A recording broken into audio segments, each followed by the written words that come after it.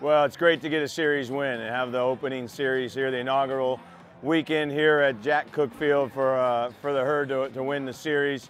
And we did it with pitching and defense today. We used a lot of our, of our pitching staff. We mixed and matched uh, there throughout the game, and, and everybody got a piece of it in that bullpen.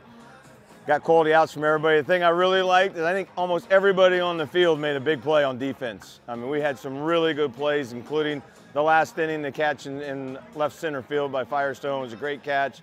Vogelsong had a diving catch earlier in the game. Callan Smith in right field had a, a great running catch, double play early in the game.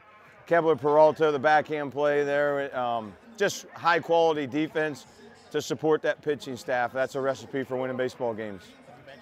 Staff. The bullpen has been a successful point even early on to this point. How did it feel to see them perform at home?